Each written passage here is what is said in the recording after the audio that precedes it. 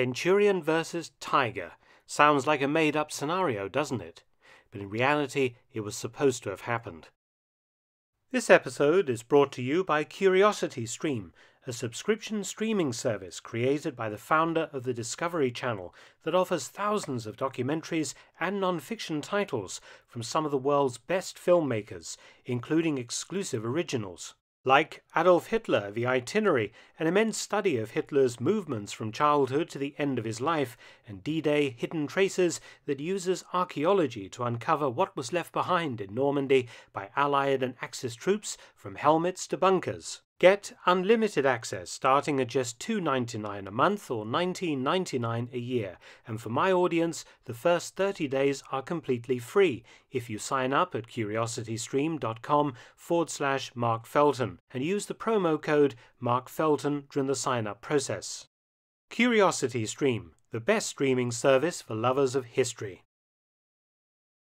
The Centurion was the tank that served British and Commonwealth forces very well indeed, serving in 13 different marks and many specialist vehicles between 1946 and as recently as 2003. Incredibly, it remains in service in 2020 in South Africa as the Olifant tank and in modified form in Israel and Jordan.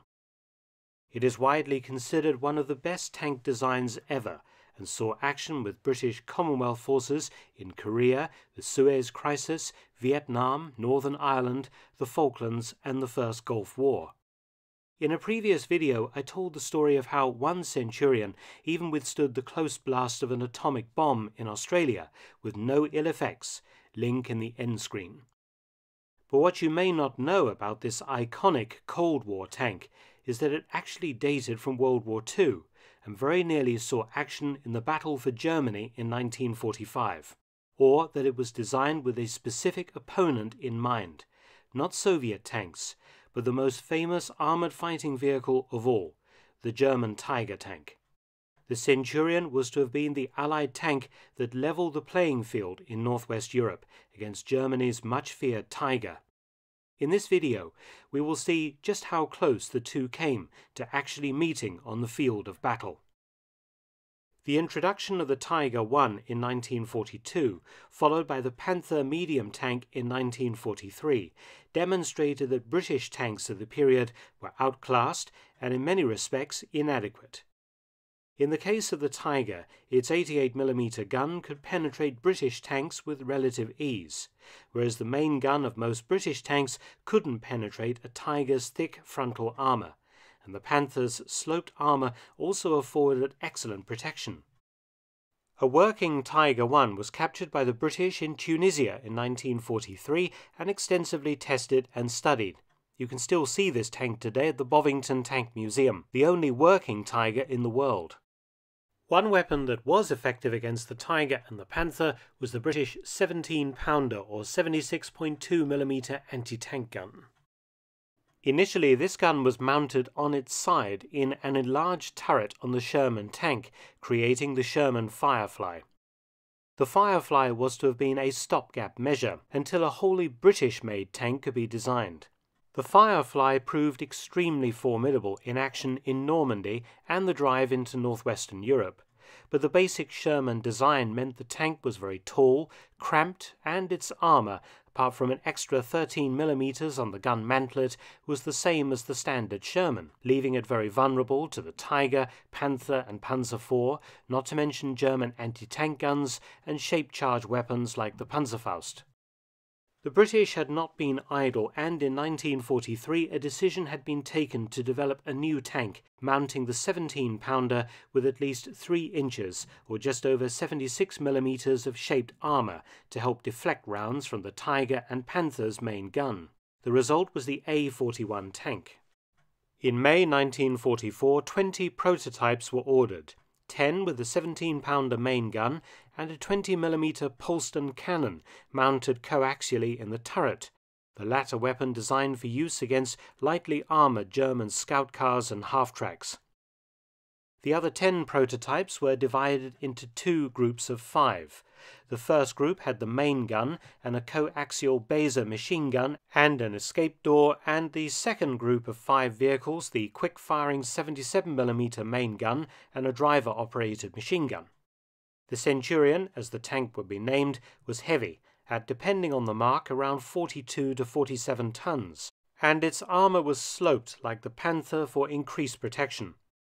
It was slightly faster than the Firefly with a maximum speed of 22 miles per hour, and it was very maneuverable, outperforming the British Comet tank in most tests.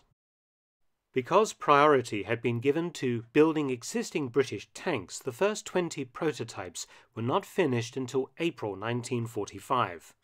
They were dispatched to the Fighting Vehicles Proving Establishment at Chertsey in Surrey. The decision was taken to test the new tank in actual combat conditions, but time was running out. By April 1945, the Third Reich was on its knees. On the Western Front, the Allies had already crossed the Rhine River and were pushing forward on a wide frontage. Army Group B, the last significant German army on the Western Front, became encircled in the Ruhr pocket in early April.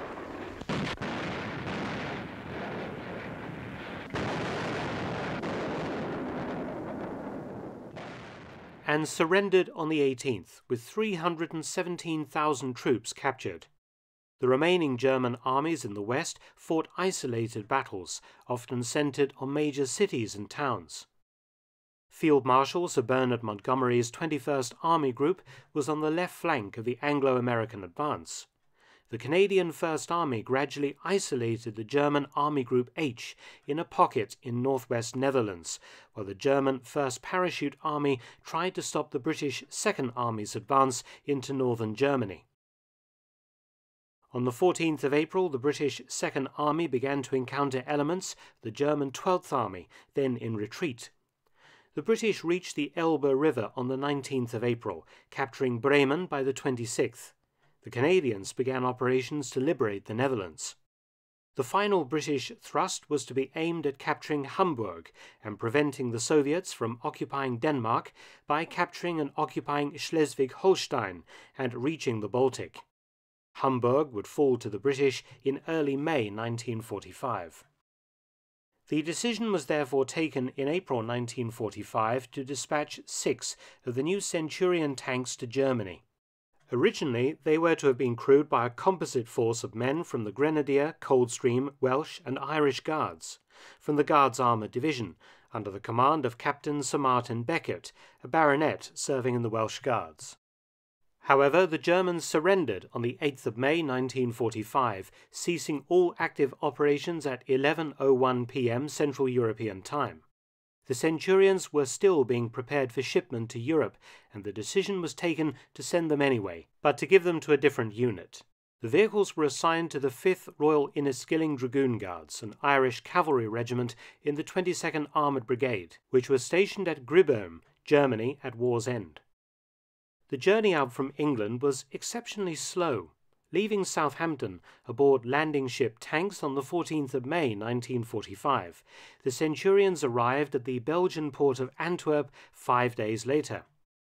They were then driven nearly 400 miles under their own power across Belgium and the Netherlands to Gribbohm in Schleswig-Holstein and delivered to the Inniskillings. The six Centurions entered field trials under Operation Sentry. They were carefully compared to the Sherman and Cromwell tanks then outfitting British armoured regiments, looking at both road and cross country conditions. Swampy crossing trials were held against the Cromwell and the American M26 Chaffee, as well as other Allied types. The Centurion proved superior on road and cross country, but inferior to the Cromwell and Chaffee in swampy conditions. The Centurions then moved to a gunnery training range at Lommel in Limburg province, Belgium, close to the German border, site of a famous bridge battle during Operation Market Garden in 1944.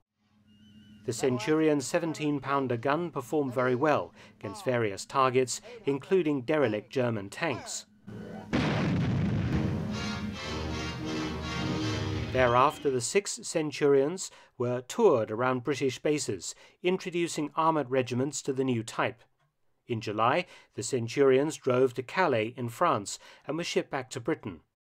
Overall, their performance had been fantastic, suffering only one engine failure and three gearbox failures in a lot of road miles and rough testing. The crews said that the Centurion was reliable and it was popular with crews.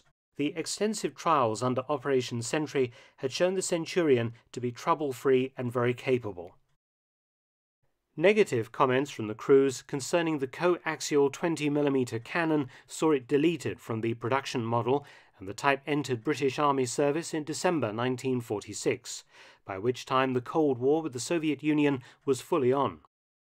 The Centurion first saw combat just four years later in Korea.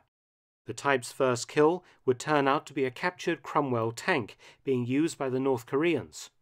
I've made a video about this, link in the end screen.